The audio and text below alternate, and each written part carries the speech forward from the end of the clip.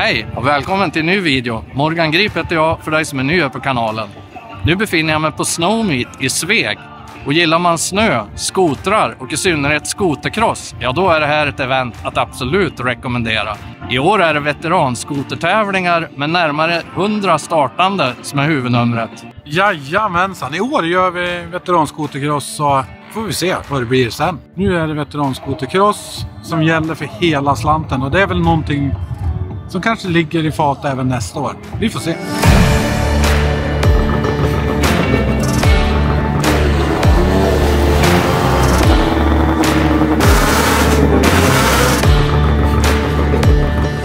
Gillar du videon? Ge den gärna en tumme upp. Och om du ännu inte prenumererar på kanalen skulle jag bli superglad om du väljer att göra det. Behöver ni hjälp? Ja. Jag har ingen gnista här. Kan du fixa det? Nej. Ja. Där har vi gnistan. Nu Du det ingen gnista? Nej. Vi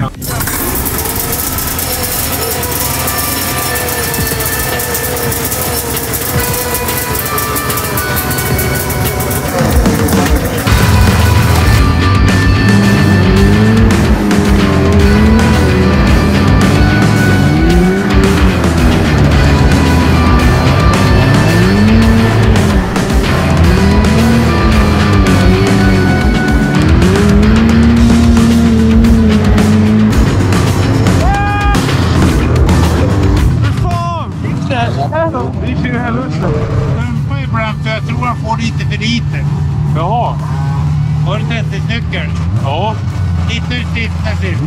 Har du besiktat? Jajamän, besiktad och klar. Utan anmärkning. Vinner du idag? Nej.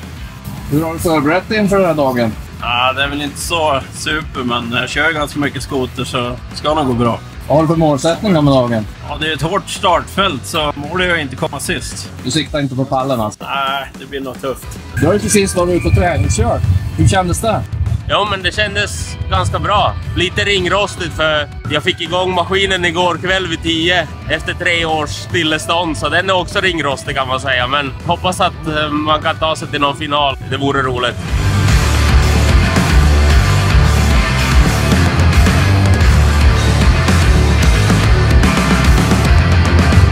Det här har ni väl jobbat med ett tag förstår jag? Ja, den här förberedelsen är väl snarare tre år skulle jag vilja säga.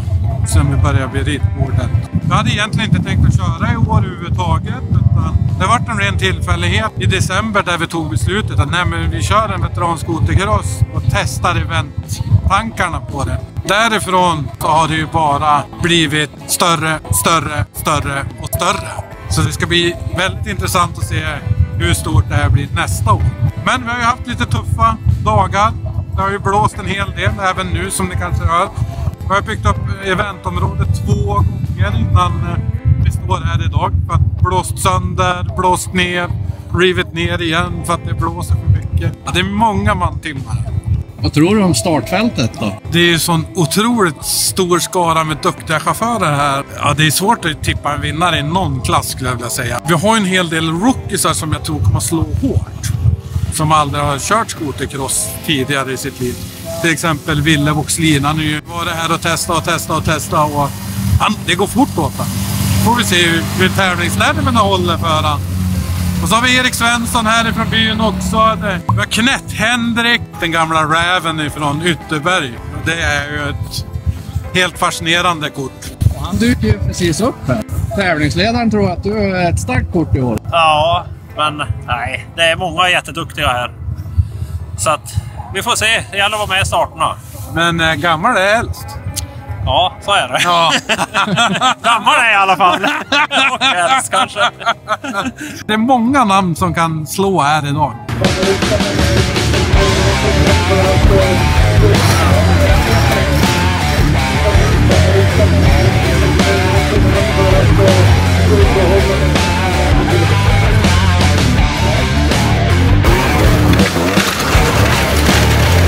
Som händer här då?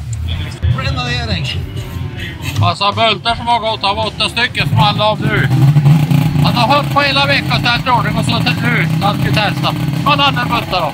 Riv alltihop och jag hem och hämta bultar. Hoppas att han får dit så han kan starta. Så är det bästa. Vi hoppas på det bästa. Kommer han till start tror du? Jag hoppas det. Ja, det tror jag. Vad tror du? Kommer du till start? Jag hoppas. Arbeta på det.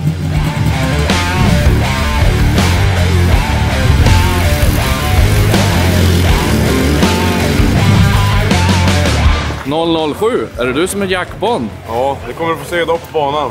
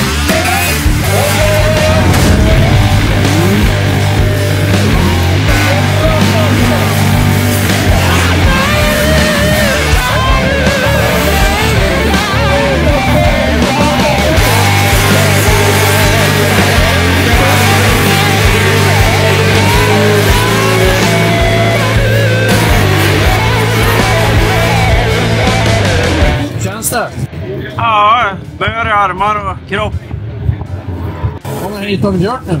Två hit, två kval. Får se om det blir något mer. B-final kanske.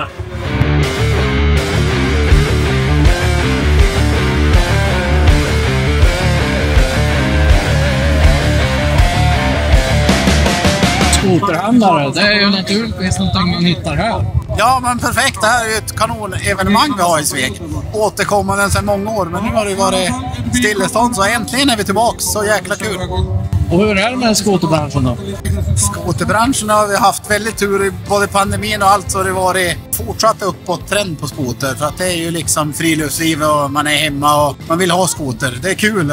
Det ser man ju en sån här dag när man tar fram gamla skotrar och tävlar. Folkfest. Det blir kul liksom. Fruktansvärt kul. Du är gammal skotercrossåkare, men eh, du saknas på startlinjen idag. Ja, jag vet. eh, Och det rycker i gastummen på mig. Men, eh, enormt faktiskt. Men nej, det blev så den här gången. Jag hade för mycket annat att rodda i och för mycket... Jag har haft för högt tryck på jobbet så att tyvärr den här gången. Nästa kanske. Det är här vi är. Det här vi tillbringar våran tid. Hur ser skoterbranschen ut? Det ser bra ut. Det är väl det enda branschen egentligen som inte följer lågkonjunkturen. Det, det är... Jag vet inte. Det, det har inte gjort det förr och hoppas att det inte blir det i år. Nej, det är bra. Det enda som släpar lite grann det är det lever- sena leveranser och sånt. Men det är Stenhårt laddad. Ja, vad kul! Är det du som är teamchef? Åh, det är jag som håller i det. Nu, nu hänger det på han.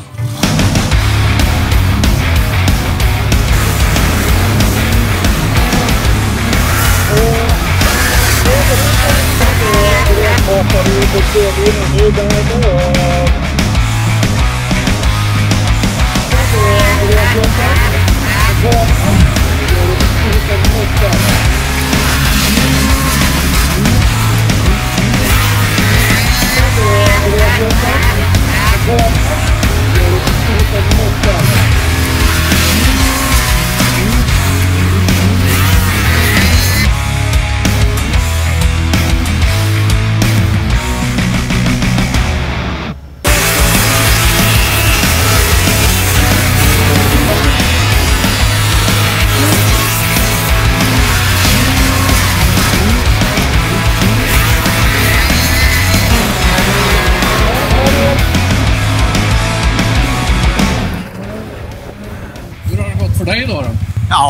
över förväntan tycker jag. Med tanke på att jag inte har kört tävling sedan 1986. Så är jag i A-final så då är det väl roligt. det hade man väl kanske inte räknat med. Men det känns i kroppen. Är du snabbast i Ljusdal? Nej, det tror jag inte. Nej, det tror jag inte. Men det är roligt. Skitkul.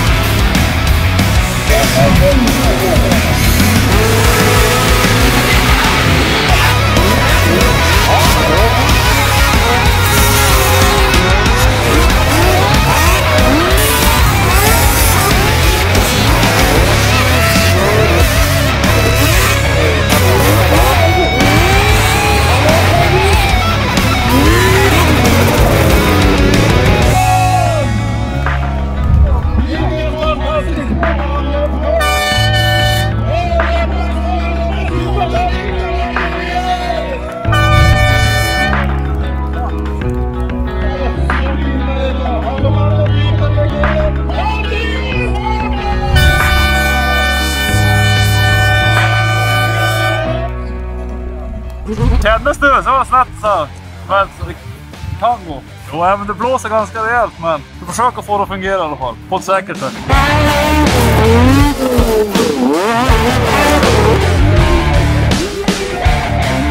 Lite orolig för vinden innan. eh, Hur var det där uppe? Det var ju lite kämpigt som sagt. Det kanske syntes på vissa hopp. Vi tänkte vi avvaktar med showen hela dagen för att det har ju varit 17 meter sekunden i byarna. Jag har ju verkligen velat kört för hemmafolket länge nu också. Jag tänkte jag prova några hopp. Det kändes ju halvriskigt så här, men då tänkte jag vi gör väl några bockvolt. För de brukar vara mycket lättare när det blåser att hålla på med och handskas med. Och det vart ju succé som det verkar ändå. Med tanke på omständigheterna. Ja, vilken dag och vilka race! Tack för att du tittade. Vi ses i nästa video.